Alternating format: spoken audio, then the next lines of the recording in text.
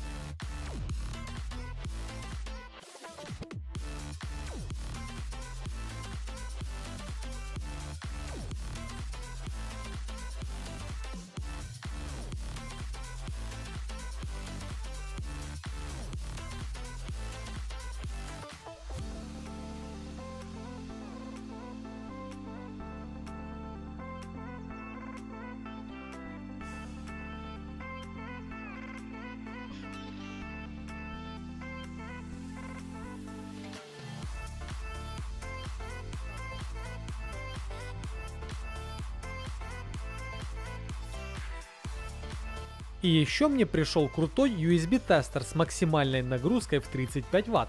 Нагрузочные устройства на основе мощного транзистора для проверки сетевых USB или простых зарядок и других устройств. Также может использоваться для разрядки аккумуляторов. Я же буду использовать его для проверки гаджетов в моих видео. Принцип таков. Вставляете зарядку в розетку, подключаете к ней тестер, а к тестеру присоединяете электронную нагрузку. Теперь нагрузка эмулирует заряженные устройства, а тестер покажет, выдает ли зарядка необходимый ампераж. Также можно измерять, сколько потребляет ваш гаджет на зарядке и выставить такое же значение на нагрузку для аккумулятора конкретного устройства. Так, ну и давайте протестируем наш тестер с помощью пауэрбанка вот такого. Но как бы мы будем тестировать и пауэрбанк, и тестер. Будем смотреть, на что он способен. Значит, у нас э, заявленные характеристики по пауэрбанку. Это у нас два гнезда идет. Одно э, гнездо с быстрой зарядкой, а второе гнездо обычное. И в втором гнезде, вернее в первом э, с быстрой зарядкой у нас 5 вольт, э, показатель и 2 и 1 ампера. И сейчас мы будем проверять все это наше дело. Так, вот мы подключаем. Видим, что все запустилось. Так, у нас есть в нашем тестере три экрана, три таких окна. Вот мы нажимаем одной кнопочкой, вот э, выводится э, вольтаж и ампераж, э, потом время и мощность. Вот тут мы нажимаем, тут выводится тоже вольтаж, ампераж, время, э, сопротивление и э, температура. Ну и тут мы нажимаем выводится время, также температура, мощность, э, потом ампераж. Так, и смотрим, значит, на втором заявлено, заявлено 5 вольт при 2,1 ампере. Ну, мы видим 5,15 вольта. Будем, значит, давать, например, нагрузку будем давать.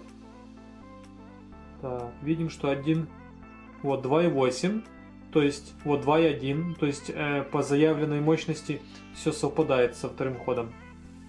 Даем еще раз. И будем посмотрим, когда, когда уже мощность, вольтаж э, будет падать. Вот, видим, что еще вольтаж сохраняется 5 вольт, а ампераж уже 2,3 ампера. То есть это показывает, что Powerbank справляется со своими заявленными характеристиками даже немного больше. Видим, у нас температура 48. При температуре в 50 у нас запускается кулер, чтобы охладить.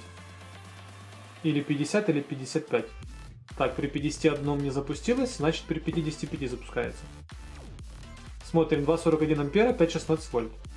Мы даем еще немножечко. Вот, 2,5 ампера. Вольтаж не падает. Вот, слышим, как запустился кулер, чтобы охладить. Видим 5, 12, 5, 10 вольтов в среднем и 2,64 ампера. Это очень хорошие показатели. Вот можем сразу переключить на другое окно. 2,64 ампера, 5 вольт. Это очень хорошие показатели для пауэрбанка. Сопротивление у нас 1,9 в среднем ома.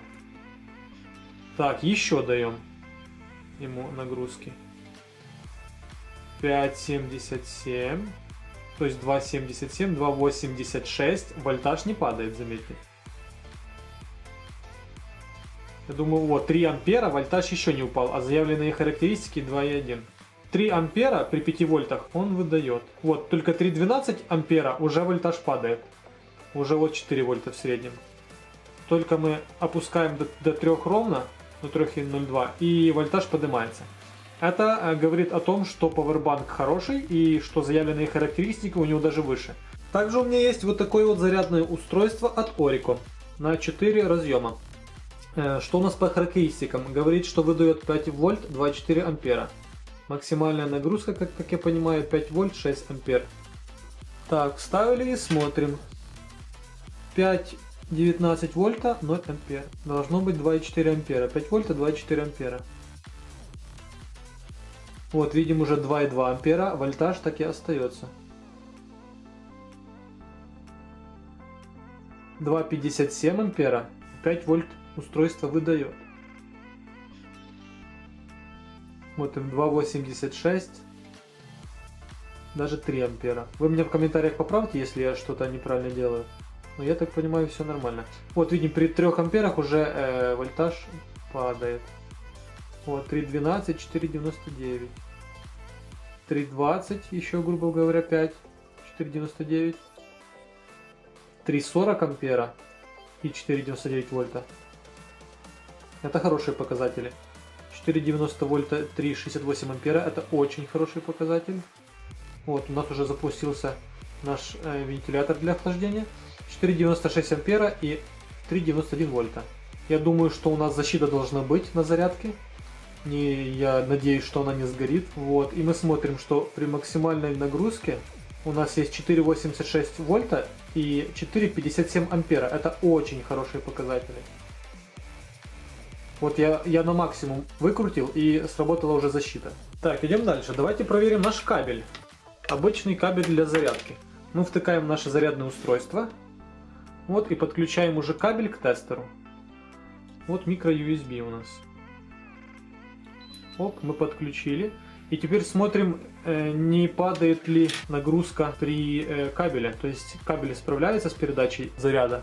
Смотрим, что 2 ампера и 4,73 вольта. То есть, как мы можем понять, а, есть потери передачи заряда по кабелю. 4,67 вольта, 2,3 ампера. Но если смотреть, что у нас заявленные характеристики 2,1 ампер, вот, то мы выставим вот так. Сейчас мы выставим самую малость. Вот, 2,0 ампера, 4,75 вольт. Вот мы плавно прибавляем нагрузку. Этот э, рычажок у нас дает максимальную нагрузку сразу, этот э, плавно дает нагрузку. Вот, то есть можем заметить, что при э, подзарядке по этому кабелю у нас есть небольшие потери. Я не понимаю, почему по-китайски, э, в других ребят я смотрел было по-английски, но это э, как бы не сильно большая проблема, тут и так все понятно. Если я где-то ошибся в измерениях, то пишите об этом в комментариях, а мы идем дальше.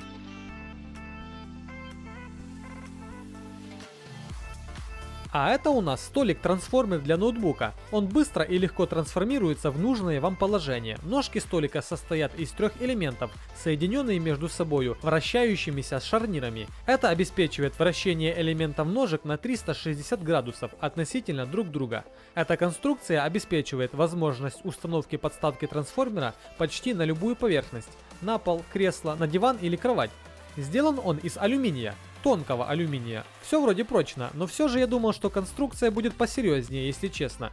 Есть регулировка наклона, подъема, все педали в общем. Но если у вас тяжелый ноутбук, то я приобретать такой столик не советую. Конструкция под тяжелые гаджеты вызывает у меня сомнения. А если у вас, например, планшет, DVD-плеер или легкий ноутбук диагональю 15,6 дюйма максимум и весит не более 3-4 кг, то использовать такой столик можно. Мой ноутбук весит около 3,5 кг. Кстати, можно еще и книгу разместить. Есть, кстати, внизу отверстие для вентиляции. И книги, например. Ширина площадки 42 сантиметра, высота одной ножки 26 сантиметров, но максимальная высота 56. А вот почему так, вы напишите в комментариях, поймете или нет, мне интересно. В общем, конструкция стала практичная вроде, но не знаю или подойдет всем. Ах, да, кстати, площадка под мышку не внушает сильного доверия и держится на одном болте. Вроде крепко держится, но все-таки пластик, а не металл, и долго жить явно не будет. Первые два товара хорошего качества, и если вам нужны они в работе или хобби, то я рекомендую их. А вот столик у меня под сомнением, хвалить его я не буду. Но если вам нужен подобный девайс для легких гаджетов, то можно присмотреться. Вычитал еще, что у него максимальная нагрузка 3,5 килограмма.